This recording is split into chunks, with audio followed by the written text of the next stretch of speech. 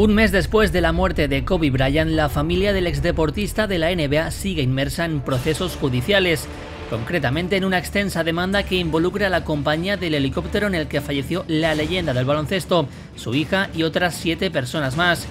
Según reveló The Sun, la familia Bryant ha incluido en su denuncia que tanto Kobe como Jana fallecieron tiempo después del fatal accidente, lo que implicaría que ambos hubiesen sufrido terror previo al impacto angustia mental, discapacidad física, dolor y sufrimiento consciente y desfiguración.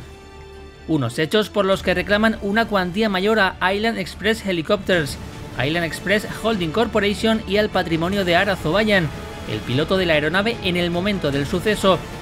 Pese a todo, todavía quedan algunas semanas para que la oficina forense del Condado de Los Ángeles publique el informe final de la autopsia y se conozcan los datos reales del suceso que acabó con la vida de nueve personas.